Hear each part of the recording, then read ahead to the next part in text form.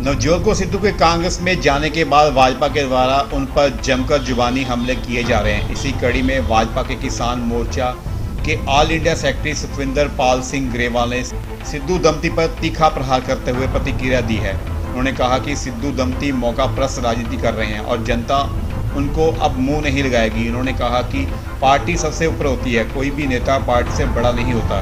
उन्होंने कहा कि नवजोत सिंह सिद्धू को पार्टी ने तीन बार सांसद और एक बार राज्यसभा मेंबर बनाया जबकि नवजोत को सिद्धू को सीपीएस और एमएलए बनाया फिर भी उन्होंने पार्टी से दगाबाजी की है ਪੁਰਾਣੇ ਕਾਂਗਰਸੀ ਪਰਿਵਾਰ ਦੇ ਵਿੱਚੋਂ ਨਵਜੋਤ ਸਿੰਘ ਸਿੱਧੂ ਸੀ ਕਾਂਗਰਸ ਨੇ ਸਾਂਭਿਆ ਨਹੀਂ ਭਾਰਤੀ ਜਨਤਾ ਪਾਰਟੀ ਨੇ ਤਿੰਨ ਵਾਰ ਲੋਕ ਸਭਾ ਮੈਂਬਰ ਬਣਾਇਆ ਰਾਜ ਸਭਾ ਦੇ ਵਿੱਚ ਮੈਂਬਰ ਬਣਾਇਆ ਔਰ ਸ਼੍ਰੀਮਤੀ ਨਵਜੋਤ ਕੌਰ ਸਿੱਧੂ ਉਹ ਐਮਐਲਏ ਬਣੀ ਸੀਪੀਐਸ ਬਣੀ ਸਾਰੀ ਉਮਰ ਕਾਂਗਰਸ ਦੇ ਵਿੱਚ ਇਹ ਹੁਣ ਜਾ ਕੇ ਸਾਰੀ ਉਮਰ ਨਾ ਇਹ ਲੋਕ ਸਭਾ ਮੈਂਬਰ ਬਣੇ ਤੇ ਨਾ ਉਹ ਐਮਐਲਏ ਜਾਂ ਸੀਪੀਐਸ ਬਣੇ।